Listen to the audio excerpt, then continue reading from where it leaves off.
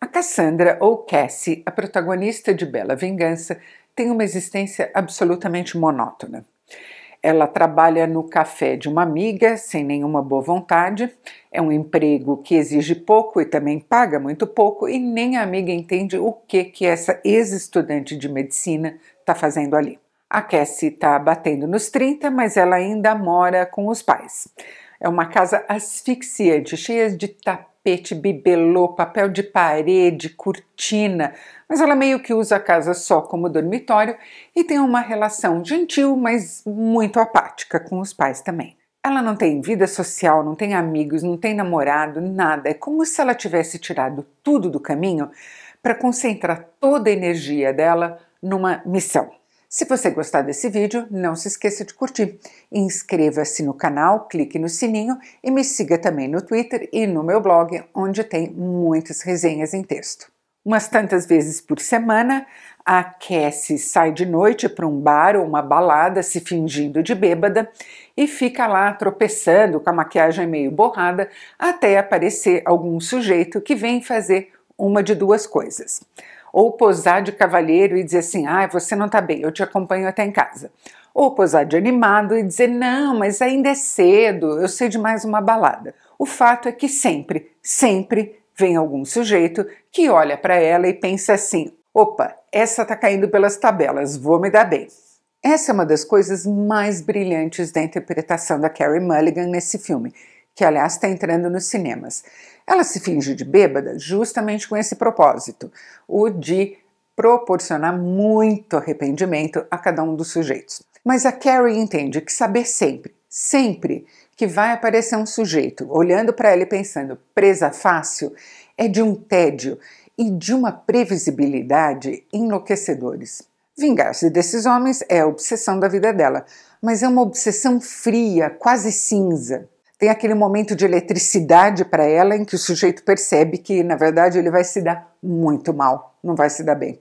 Mas esse momento vem cercado de desalento, de desânimo por todos os lados. A gente tem aqui então um elemento muito diferente entrando no que é aparentemente um thriller de vingança, que é o quanto é deprimente que as suas piores expectativas se confirmem sempre e que nunca, jamais apareça alguém que por uma noite sequer desprove a sua teoria sobre a uniformidade da distribuição da misoginia, do sexismo e da objetificação entre a população masculina. Isso muda todo o caráter da Cassie como protagonista do thriller de vingança e, na verdade, muda todo o caráter do filme também. Isso aqui não é vingança com sangue nos olhos, com tiros, com violência, como na versão clássica, mais cheia de testosterona do gênero. A Cassie até tem umas explosões que não são propriamente de violência, são mais de impaciência, mas é vingança sistemática, metódica, um a um. Não só Carrie Mulligan está fantástica no papel, como o roteiro apoia integralmente essa construção da personagem e permite que ela e a diretora Emerald Fennell subvertam todos os conceitos de gênero. Bela Vingança é, ao mesmo tempo, um thriller de vingança, é uma comédia de humor perverso, é uma fantasia pop. Repare nas cores de balinha de todos os cenários e figurinos, na trilha da Britney Spears. E, a certa altura, é também uma comédia romântica como aquelas que o Tom Hanks e a Meg Ryan faziam lá pelos anos 90. Em um dado momento, reaparece na vida da Cassie um sujeito muito doce, muito gentil e muito bem interpretado pelo Bo Burnham, que faz ela baixar a guarda pela primeira vez em sabe-se lá quanto tempo. Como a Cassie se propôs essa missão de identificar e punir todos os homens que tratam mulheres como presa por causa de um evento muito traumático do passado dela, baixar a guarda não é uma coisa fácil, não, significa muito para ela. Como diretora, a Emerald Fennell tem muito sabor, muita imaginação, mas tem lá suas irregularidades também.